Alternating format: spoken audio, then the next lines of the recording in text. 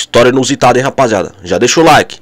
Um projeto aí de lançar um estilo songbook, né? Que a gente estava conversando aqui, de lançar um livro com letra e Sim. explicando aí a, a can- Uma- por trás uma- da canção, né? Uma amiga, que é a Barba Ma- Mascarenhas, que é diretora do, do filme que eu tô participando, ela falou pra gente, pô, é, você tem muita letra boa, entendeu? E aí ela viu também meu Instagram, uma dessas histórias que eu, eu, eu falei de uma música do, do Sabotagem que chama Brooklyn, né? Uhum. E essa música Olha só, rapaziada. tem uma, uma moça que canta no começo que ela tem o sotaque paraguaio, né? E aí eu, eu peguei o ônibus com sabotagem, desci na Paulista e fui andando, nós ia andando até o estúdio. Pô, era engraçado porque ele ele falava assim, eu ando pra caralho, Joe.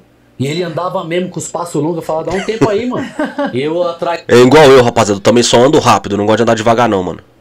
Não gosto de andar devagar também, não. Dele, uns 4, 5 metros assim atrás dele, pedindo pra ele ir mais devagar. Vai mais devagar aí. É. Aí do outro lado da rua tinha uma, uma moça com umas duas, uns dois caixotinhos assim, um paninho por cima vendendo uns incensos. Uhum. Aí eu cheguei e falei assim, ó mano, os caras vão levar um incenso pro estúdio, né? A gente fica fumando lá direto, né, mano? Vamos levar um incenso. Aí vamos. Aí atravessamos a rua, paramos na frente dela tal, aí perguntou, o sabotagem que ia comprar, ele perguntou tal, ela começou a falar com ele, e eu fiquei olhando assim o sotaque dela. Muito bonito o sotaque dela, paraguai. Aí eu falei, eu puxei ele de lado e falei assim, ó mano, é... Você viu o jeito que ela fala? Vamos levar lá no, no estúdio pra fazer uma introdução naquela música lá. Falar na rua você, hein? É. Aí ele, ele era muita sintonia comigo. Na hora ele falou, pode crer. Aí falamos com ela. Aí foi mó engraçado. Aí ela falou assim, é, vamos. Aí, aí ela pegou aquela toalhinha, embrulhou tal, colocou numa bolsa. Foi na hora. Eu peguei um caixote daquele lá, coloquei nas costas, sabotagem pegou outro. Aí foi, nós três na rua, fumando cigarrão. Rapaziada, vamos ver se eu encontro é, essa entrevista completa do do Elhão. Beleza, rapaziada? Do Elhão aqui, firmeza? Eu vou deixar na descrição. Vamos ver se eu consigo encontrar, beleza? Aí chegamos lá no estúdio. 5 metros pra frente. É. Chegamos, não, aí ele já foi devagar, porque nós tava com a mulher, né? Chegamos lá no estúdio, mas foi engraçado, mano, que a mina Eu tenho esse problema também, só ando rápido, tio. Só ando rápido, mano. Nem vem andar devagar comigo que eu não vou, mano. Pode ser sintoma de ansiedade também, não sei, né? Mano, a mina fumou, bebeu, ficou muito louca. Tá? Eu não pensei que ela era bem louca. Era bem louca, ela fechou o trampo dela e vamos Foi na hora. dois caras, mano. Qual a Eu não chance pensei que ela era muito louca daquele jeito. Ela chapou, mano, porque tava se- o estúdio era uma festa sempre. Sim. Ia todos os parceiros, tá ligado? Cada um que chegava com um baseado de uma, de uma quebrada, um baseado. Que era a famosa lá, laje do RZO, né, rapaziada? Era o estúdio.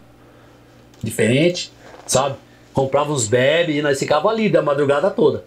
Aí é, eu ficava sentado assim olhando aquele movimento, que era o que eu sempre fazia mesmo. Aham, a gente Tava tava sentado olhando, sabe? Era engraçado porque eu ficava fazendo os planos e muitas vezes eu ficava assim, ó.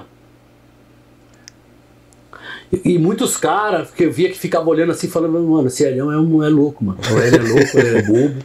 Mas não era, mano, eu tava com a mente a milhão, os caras não sabiam. Eu já tava pensando lá na frente como que ia ser, como que ia fazer, e aquela introdução, e, e os caras muito loucos e tal. Né? E eu, era como se eu ficasse ali olhando, e eu via os caras em câmera lenta. Os caras.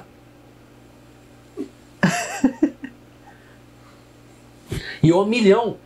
Pensando, eu, eu, esses dias eu lembrei que eu tava assistindo Liga da Justiça, mano. E o Flash ele via assim. Tudo mais, tudo é, mais e eu lento, lembrei né? disso aí. Elhão, fumavão, virava o flash, todo mundo. É. E tinha vários caras que interpretavam mal, falando assim, mas esse cara é bobo, mano. Fica de boca aberta. A moscando. mina não gravou, por fim. Tá muito louco. Não, não conseguiu gravar nada assim- com a mina.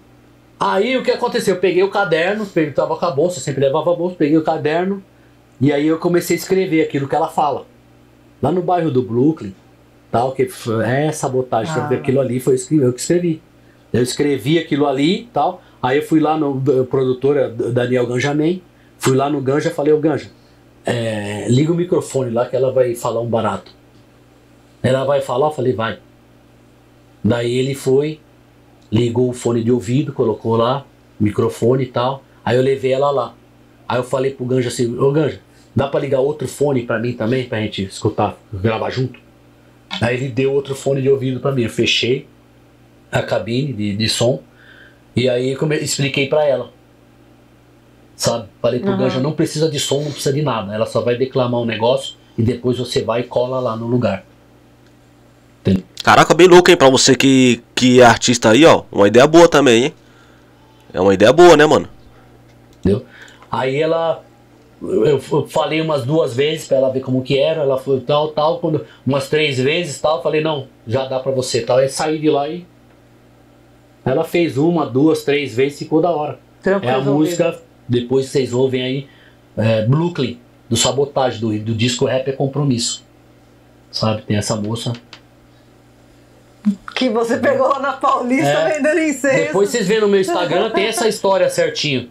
Que eu conto com detalhe e tal. Certinho, tem um, tem um começo da música e tem, tem essa história certinho. Depois vou ver e vou fazer o react aqui no. Aqui no canal, beleza, rapaziada? Caraca, mano. Que história, hein? Infelizmente perdemos o sabotagem muito cedo, né, cara? O sabotagem estava à frente na época. Tava- Estava à frente do tempo, né, mano? Na época estava à frente do tempo. O sabotagem fazia filme. Sabotagem participava de várias fitas, já foi na Globo, várias coisas, né, mano? Ele era um cara que poderia moldar e mudar o rap, né, mano? A mentalidade da época. Porque Tupac nos Estados Unidos fazia balé, Tupac fazia filme, Tupac ia na TV, entendeu, mano? Tupac entendia o mundo. Enquanto o rap no Brasil ficava escondido, né, mano? Moldado. E isso custou muitos anos do rap, né, mano? Se o rap tivesse se os rappers tivesse feito filme, tivesse entrado na cena, o rap poderia estar em outro patamar, né, mano? Que nem o funk hoje. É. Mas também a mídia levanta e também derruba. Então é melhor o rap ficar assim, eu acho, não sei, né, mano? Comenta abaixo aí, rapaziada, se você acha, sobre- você concorda com o que eu falei. E é isso aí, forte abraço. Se você não sabia disso aí, tá aí, ó. E é isso aí, rapaziada, forte abraço.